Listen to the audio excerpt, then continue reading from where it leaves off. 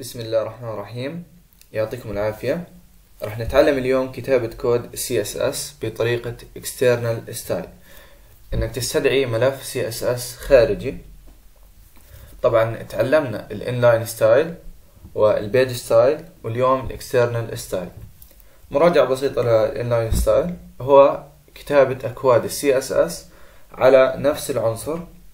وبالنسبة لل page style كتابة أكواد ال CSS بداخل صفحة ال HTML لو شرحنا شوي عن كتابة أكواد ال CSS بطريقة ال External Style آه، كل اللي عليك إنك تختار ال selector وهو عبارة عن العنصر المختار أو المحددات آه، لتحديد العناصر آه، التي تريد تصميمها. بكل بساطة هو العنصر اللي راح تطبق عليه أوامر وتنسيقات ال CSS بعدين ال curly braces آه، اللي هم أقواس المجموعة. وال property هي جميع الخصائص للغة CSS مثل الألوان الخطوط والخلفية ال background والخصائص تحتوي على ال value يعني كل خاصية تحتوي على فاليو مثلا ال font size ال value لل font size 24 بكسل مثلا. طبعا ال property وال colon ال colon في لغة ال CSS هي باعتبار أنها تساوي وال value وبالنهاية semicolon حتى تفصل بين كل خاصية. نبدأ بالتطبيق العملي. آه، ننشئ folder ونسميه مثلا project css تمام. الآن نفتح ال Visual Studio Code من file open folder نختار ال folder اللي هو إحنا على اليوتيوب CSS project CSS تمام. نختار ال folder. نضغط click يمين new file index .html. تمام. click يمين new file style .css تمام. طبعا. ال dot html هو extension خاص بال html dot css extension خاص بال css حتى تعرف ال browser انه أنا بستخدم ال html و css تمام. راح نفتح على ال project css. نختار ال index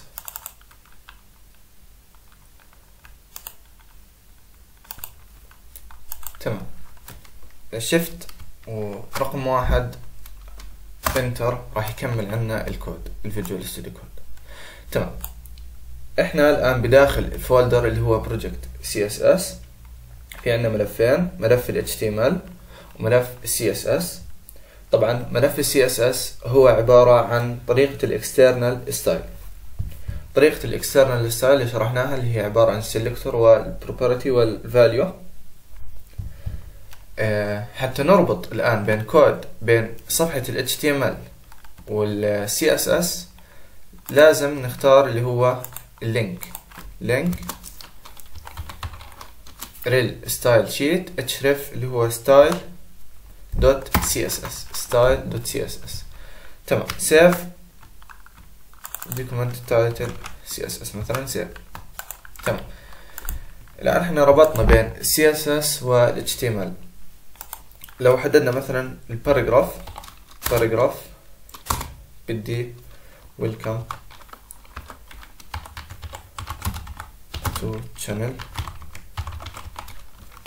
نعمل save راح نشاهد إن ما عليها أي تأثير. طيب نفتح على صفحة ال CSS آه، ملف ال CSS ونبدأ بالتأثير. نختار ال selector وهو ال paragraph curly braces نكتب ال property مثلا color ال colon وال value خاصية آه، الخاصية وال value مثلا red. save. تمام. نعدل عليها مثلا font size أربعة وأربعين بكسل. أو نصغرها. عشرين بكسل. نختار text align center موضعها يكون الوسط.